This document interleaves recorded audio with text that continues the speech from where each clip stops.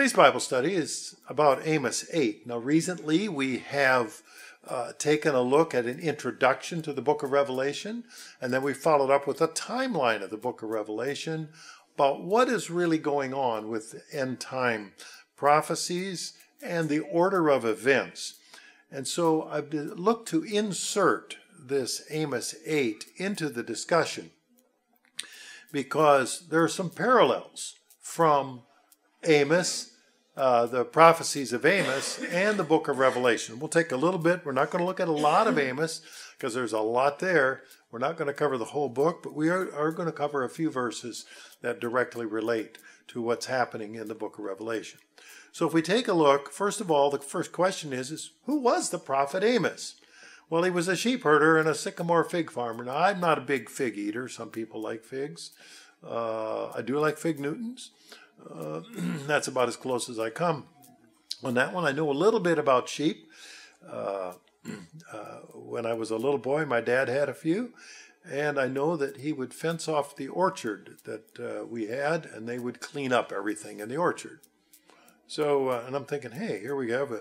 Now, also Amos had to, was a was a relatively poor uh, comparatively speaking, uh, sheep herder, and because he was doing the uh, uh, processing or the they say I guess you have to prick the fruit in order to allow it to expand. So he would be doing that while he was watching his sheep. If you're just sitting watching sheep, it can get pretty boring. So he was uh, making uh, uh, making uh, his living as best he could. Amos was one of twelve minor prophets, we call them minor not because the prophecies were minor, but because they're relatively small books uh, of those minor prophets, the last 12 books of what we call the Old Testament. Um, at the time, or, uh, the prophet Amos was preaching. He was from the southern kingdom of Judah, but his preaching was primarily to the northern kingdom of Israel. This was after the division of the kingdom, after uh, Solomon's son Rehoboam took the throne. The, there was a division between the northern and southern tribes. Um, uh, then we know that uh, he lived at the same time as the prophet Hosea and the prophet Isaiah. So we'll have, uh, there will be some interesting uh, uh, cross referencing because they were contemporaries at that same time. We also know that Amos uh, he lived during the uh, preached during the rule of King Jeroboam II. Of course, Jeroboam I was the breakaway northern kingdom, and he lived during the King Uzziah of Judah of the, of the southern uh, kingdom. and interestingly enough, Amos preached during a long period of peace and prosperity when David consolidated uh, uh, under his kingship, he fought a lot of wars. Solomon had a very long and peaceful reign. This was following Solomon's reign, and there was still a lot of peace and prosperity in the land. So if somebody's preaching a warning sign when everything is just fine, people are going to have a hard time believing. How can this be so? And yet, this prophecy was recorded then for our admonition. In fact, a lot of prophecies, they call it dual prophecies for then and then into the future. And some go on into three or more uh, iterations of uh, future events. So let's take a look, if we can, uh, why we even have prophecy. In Amos 3 7, the prophet Amos describes it Surely the Lord does nothing unless he reveals his secret to his servants, the prophets. Well, isn't that interesting? What we can say is there aren't going to be surprises. We've been told, whoever we are uh, in this world. Now, this is because on Amos 3, when we read this, God isn't cruel and uncaring. If he's going to punish a nation, he'll let them know. And why does he let them know? Because they will have an opportunity to repent. Because God is a very fair God. And there are several references to that. I want to take a look in, uh, in Ezekiel 3.17. Ezekiel 3:17 Son of man I've made you a watchman for the house of Israel therefore hear a word from my mouth and give them warning from me so there's saying hey they need the warning here's a warning and if we follow up in Ezekiel uh, and we go to Ezekiel 33. Actually, if you read the whole chapter, it really is on point here. But in Ezekiel 33 and verse 17, the children, yet the children of your people say, The way of the Lord is not fair. Have you ever heard that? God just isn't fair. Well, well, well. But what does God say through Ezekiel? He said, But it is their way that's not fair. They're not following what God says to do if you want a, a productive and happy life. Verse 18 in Ezekiel 33 18, when the righteous turns from his righteousness and commits iniquity, read sin, he shall die because of it. Verse 19, but when the wicked turns from his wickedness and does what is lawful and right, he shall live because of it. So we have two ways to do right and live, to do wrong, and you earn the consequences of those choices. So the purpose of prophecy, an opportunity to repent. We also read this from the prophet Jeremiah, not long after this period in Jeremiah 18, 7 and 8, was to encourage repentance. Jeremiah 17, uh, 18, verse 7 I, The instant I speak concerning a nation and concerning a kingdom to pluck up, to pull down, to destroy it, if that nation against whom I have spoken turns from its evil, I will relent of the disaster I thought to bring upon it. Or more realistically, what they're bringing upon themselves, as we've earlier read. You commit the sin, you pay the price. so here we can see when God is is saying through the prophet Jeremiah, there's a reason or a purpose for the prophecy. And there's a big if. If they repent, we can change the course of history. It won't change the ultimate plan of God, but it can change the course of history for those people. Well, now, if we've earlier talked about the book of Revelation, and I want to pull out something here that's uh, uh, uh, in the prophecies of Amos and show how it has a parallel with a point in the book of Revelation. In Amos 8 and verse 9, in fact, we're going to be in Amos 8. You might want to just stick your finger in there or, or a, a tab. It shall come to pass in that day, says the Lord God, that I will make the sun go down at noon, and I will darken the earth in broad daylight. Well, that's pretty obvious. If the sun goes down at noon, now at noon it does get cloudy, and uh, this did this last week. And when it gets really dark and cloudy, the chickens go into roost, even if it's in the middle of the day. Uh, when uh, Columbus first came to uh, the Western Hemisphere in America, uh, there was an occasion. He was captured by the Taino natives in the Caribbean. And he used his knowledge of astronomy about the upcoming eclipse of the sun. And he said, If you don't let me go, I will black out the sun. And then the eclipse showed up, thankfully, because he knew about it. He was a, uh, a, a remarkable uh, seaman.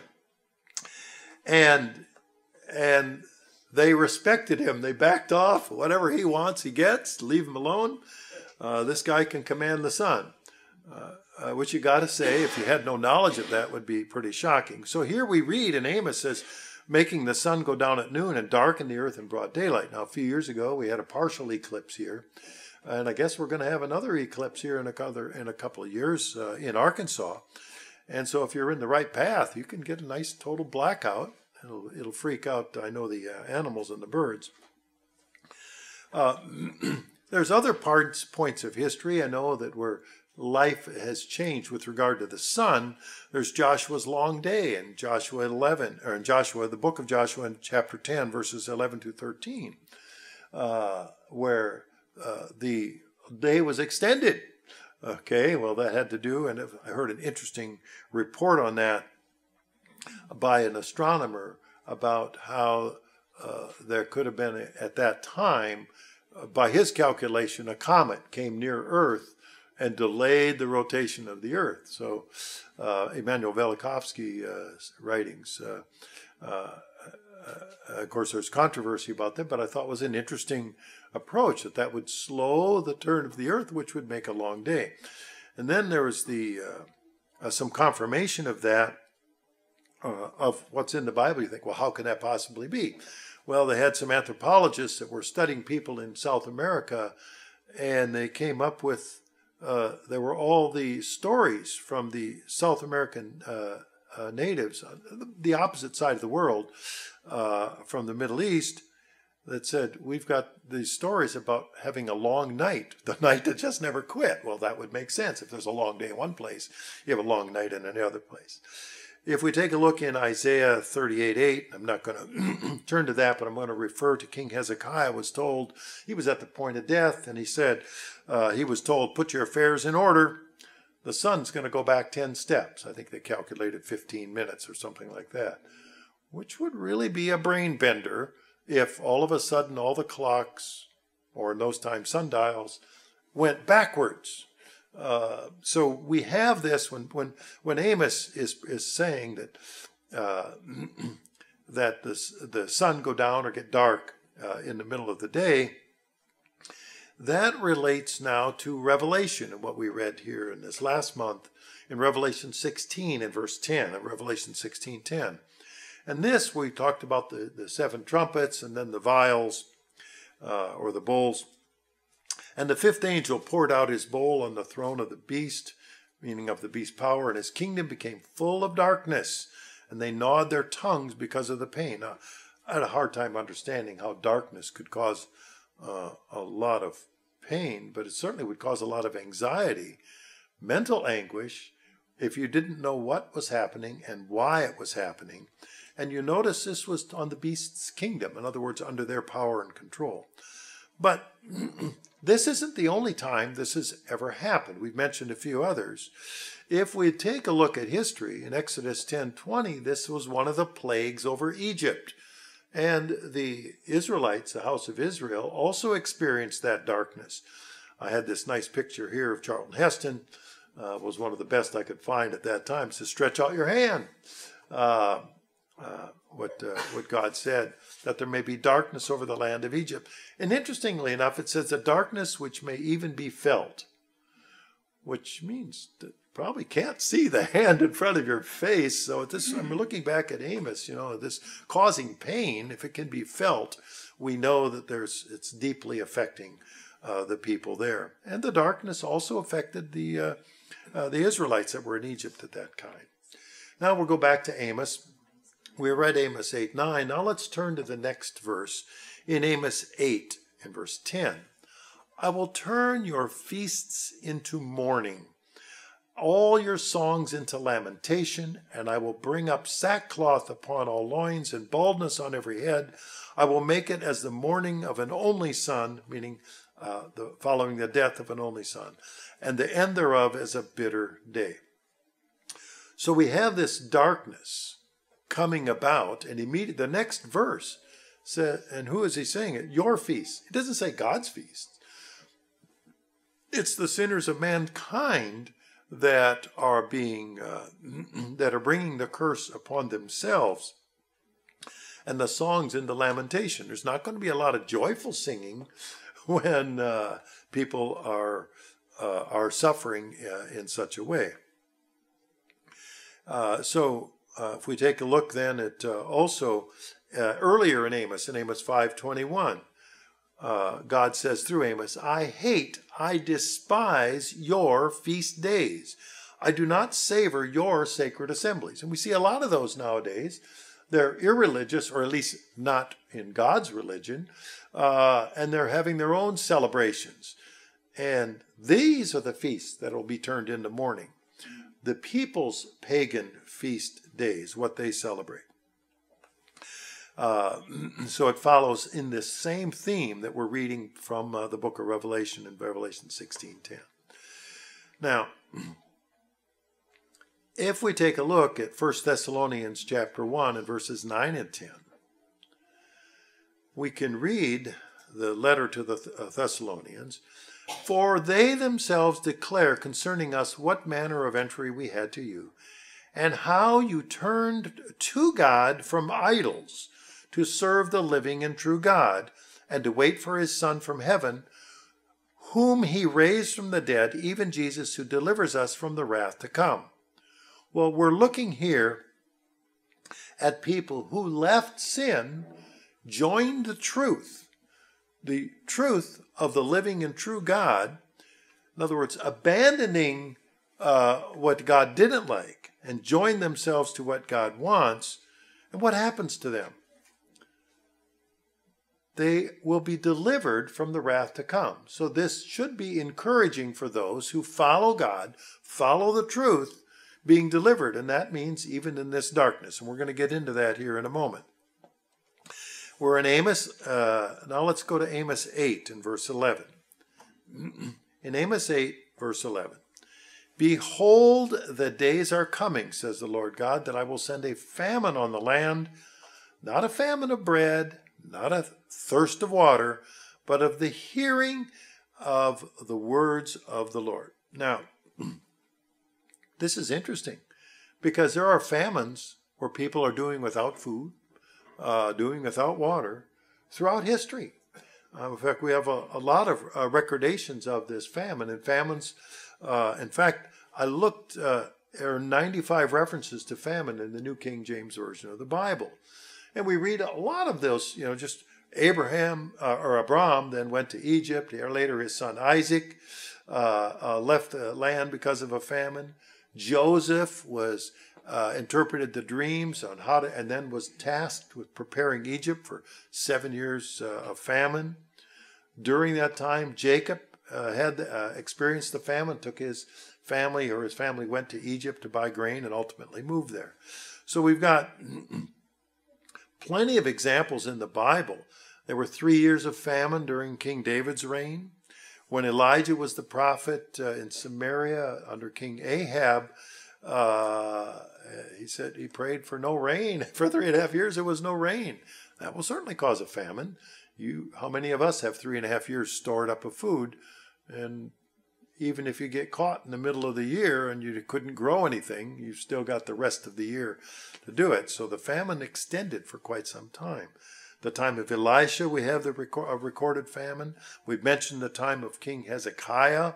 Uh, there was a famine. The famine was prophesied by Isaiah, Jeremiah, and Ezekiel. In fact, we're told that a third of mankind will die uh, uh, uh from that uh, circumstance uh, in Ezekiel. Jesus Christ referred to future famines in Matthew 24 and verse 7. In Matthew 24, verse 7, for nation will rise against nation, and the kingdom against kingdom, and there will be famines, pestilences, and earthquakes in various places. And indeed, we see in our small little lifetimes compared to the history of man, we've seen not fully experienced, but we are aware of famines and pestilences and earthquakes. Uh, I remember this had to be about 1980-ish or so. There, there was a nasty uh, earthquake uh, in in Armenia, and I remember three weeks later they were still digging people out who had survived three weeks trapped underneath that. I remember I had I had a, I tripped and uh, fell in our in our business at that time. I was locking up. Uh, it was late on a late on a Friday afternoon. We're closing early, and I tripped and fell. I had just shut the lights off, and I was taking a shortcut through the warehouse. And I remember falling right in front of the door, and it was just a light, a little light, uh, crack of light under the door but the serviceman's radio was playing on the other side of the door. Nobody would know where I was. They were all, it's about 4.30. They were all ready to go home. And I thought, if he leaves his radio on all weekend, I can't move. I'm here on the floor. And I could look under the door to see under the crack on the door. And, I, and my thought was, I'm wondering, is this what the people were like in Armenia in the earthquake where they're trapped. They couldn't go anywhere, they couldn't do anything. And so when you get that little experience, and there I am lying on the floor uh, uh, in a bad way. Eventually, obviously, I learned to walk again. Uh, but it took a while. Uh, I did I did get patched up, and eventually they heard me scratching on the door. Uh, uh, to, to, but I do, and, it brought it to life about uh, about earthquakes and such. So when I read these kinds of verses, you're going, that's happened throughout uh, throughout history. Many of the famines throughout history are man-made. We know of uh, the Irish potato famine in the 1800s. Uh, interestingly enough, and there were a huge number, over a million people actually in the next 30 years, uh, there were about 2 million Irish that came and left the country. About a million during this five year period uh, uh, left the country. About a million people died. Interestingly enough, potatoes are not native to Ireland. They're a Western Hemisphere uh, root, uh, root crop, root vegetable. Yet they became in the 1800s was absolutely essential. What a lot of people don't know is that Ireland also exported food during this famine when they were dying because most of the Irish didn't own the property. The landlords from uh, Great Britain did. And the Irish were basically their uh, slaves. And they extracted their portion first, and the Irish could live on whatever was left. So Ireland was actually, it was a man-made famine to a large degree. Now there was a potato blight, you know, there was a, a low crop, but the people uh, uh, were in a bad way because it, the rent came first, and then whatever was left you had to live on The People, it was terrible. They they dug, they had no place to live. Uh, many of them couldn't pay the rent, uh, and so they, it was just a, a terrible tragedy that that that lingers on through uh, American history now. But it's not the only uh, major uh, man-made famine. We have that one in when the Soviet dictator uh, Stalin uh, starved the Ukrainians deliberately so. Interestingly enough, similarly, uh, it's the breadbasket of Europe, Ukraine, and so he just took food what they had and shipped it to wherever else he wanted to put it in the Soviet Union killed about 5 million Ukrainians. That's more than the people in Arkansas and Missouri and a couple other states uh, added together uh, at that time. So, man made famines, not uncommon. I've, I've, started making a list of others. You have Pol Pot in Cambodia, where he forced people out of the cities, and you have millions of people have died there. Uh, so, most of those famines are man made. So let's take now a look at this famine of the hearing of the words. In Amos 11, uh, it said, We have a famine not of bread or water, although those will occur. This is not what he's talking about, but a hearing of the words of the Lord. Notice it does not what it does not say. It does not say a famine of the word of the Lord. It's a famine of the hearing of the words of the Lord. Doesn't say a famine of the preaching, just that if there's nobody there to hear. Sort of like if the tree falls in the forest and no one is there, does it still make a sound? Well, if we take a look at the world we live in now, all of a sudden this might make a little more sense because we now have censorship of our major media in a way that we haven't really experienced in the United States before. Now, they have in other countries of the world where the government controls the media uh, and and it's the official government line, whether it's China or any other uh, authoritarian country. And so now we have newspapers, radio stations, uh, um, oh, I put it twice, should be television stations, magazines, and book publishers. And if you take a look at the numbers, 1,500 newspapers, 9,000 radio stations, 1,500 TV stations, and 1,100 magazines and 2,400 book publishers, all owned by six owners. Six corporations own them. So how do you throttle or, or limit the distribution of the news or to channel it in whatever people want to say is simply by controlling uh, or the people that control those six corporations. Not even the stockholders. Uh, they usually find out about it later. So you have now this, we are living now in a world of major censorship. It's affected the church in that we no longer have the same broadcast of the Beyond Today program. It's been scattered. Now, fortunately, we do have it in this area, but it's one of those areas we, we uh, no longer have that on some of the major uh, uh, platforms that we used to have.